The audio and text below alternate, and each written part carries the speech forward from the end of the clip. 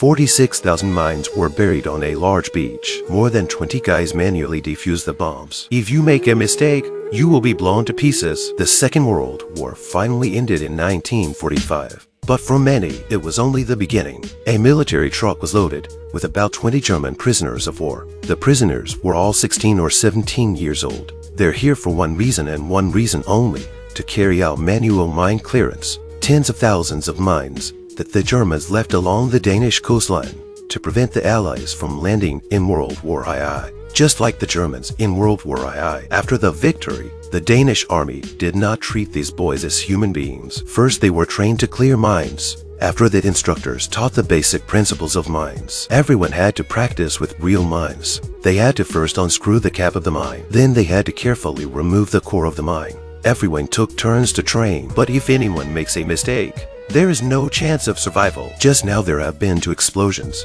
In the opinion of the Danish officers, they don't deserve sympathy, even if they're a bunch of kids. They thought that the best punishment for the defeated prisoners of war was to pay in blood. Next, they were shipped straight to the beach. Everyone lined up in the hot sun. The officers shouted for everyone to count. All the questions were answered with the standard answer. Yes, sir. It's like the beginning of the movie. We are not friends with the Germans, and we are not equals. The only thing you are here to do is to redeem yourselves for the crimes you have committed. So they had to manually disarm tens of thousands of mines without any protective gear. If the demolition goes well, it can be done in three months, but the process must not be a step wrong. Otherwise, they would be blown to pieces. They lie on the ground in the hot sun. They use tiny sticks to repeatedly poke into the beach and look for mines. Each person is responsible for an area. When they find a mine, they dismantle it manually, and as soon as any area is confirmed safe, it must be marked. The only happiness they feel is that they don't have to work at night, so they could lie in bed and rest.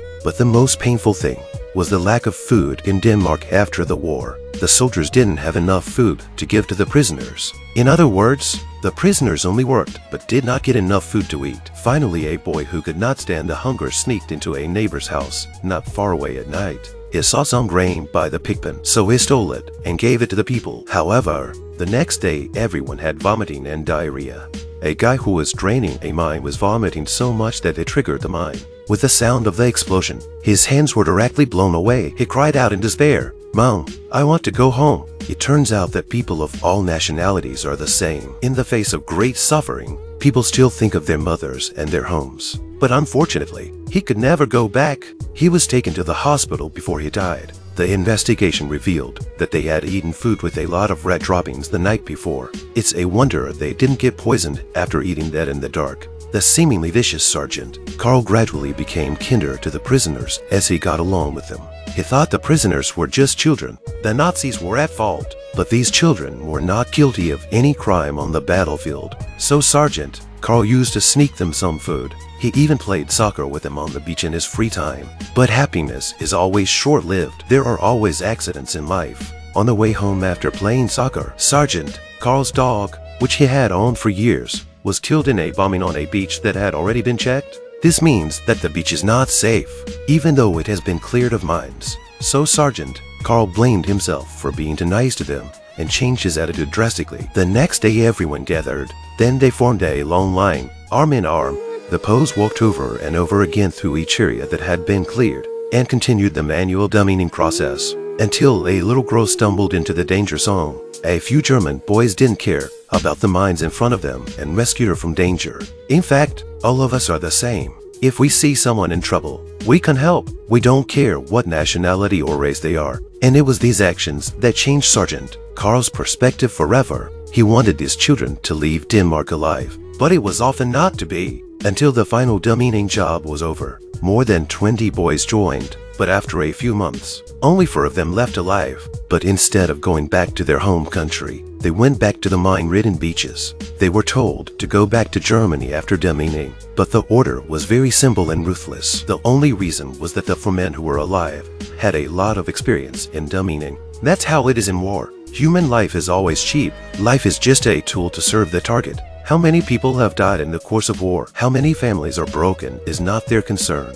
The only thing they have to do is to accomplish the goal at all costs, not to mention the cost of a group of prisoners of war. No matter how you consider this condition is too worthy. What is the conflict between saving one person and saving the world? Who is more valuable in the public interest or self-life?